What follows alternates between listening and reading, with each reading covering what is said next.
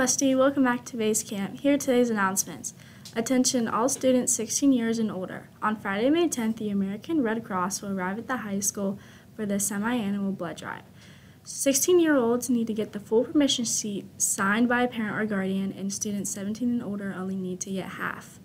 All permission forms need to be returned to Student Council. Student grades 8 through 11th. If you would like to represent your grade on Student Council for the 2024-2025 school year, pick up a petition in Mr. Rutledge's room.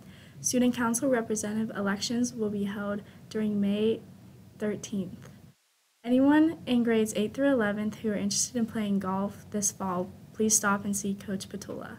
Support Westmont Hat Club and enjoy a boba for $5 on Thursday, May 16th. And over to the, the weather. Today's weather is partly cloudy with a high of 73 and a low of 57. Back to you, Reagan. And now on to our segments.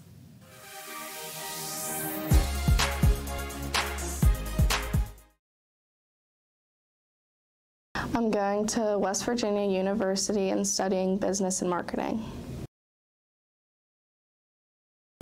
Participating in the girls basketball team up until last year. Don't take this time for granted because it goes by really fast.